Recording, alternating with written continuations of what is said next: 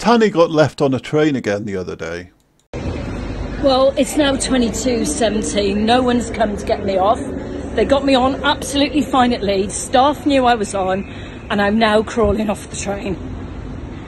I've been left on trains a lot too. I have complaint letters going back decades, and I have over a dozen examples on my YouTube channel.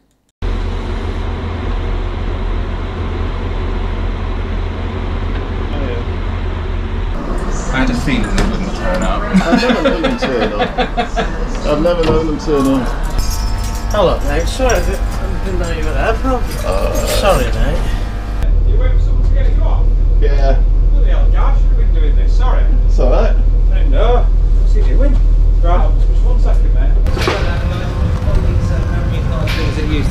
My colleague's memory isn't as good as it used to be. I forgot me.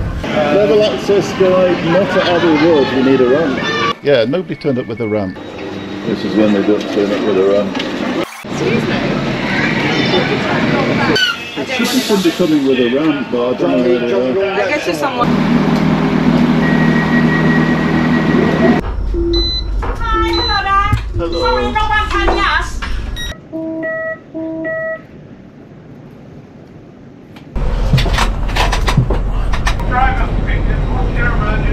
Hiya, uh, I'm a wheelchair user. I'm coming off at Newcastle, but assistants haven't turned up. Excuse me. Hey, the ramp, please. Many apologies. I've just missed my last bus home. Can't be helped. Actually, it can be helped. It should be eradicated. Disgraceful, unacceptable.